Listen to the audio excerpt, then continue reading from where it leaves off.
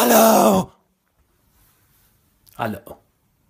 Nee, ik wil jullie toch graag even op de hoogte stellen van het feit dat ik uh, in de nabije toekomst geregeld filmpjes zou gaan maken van 22 seconden.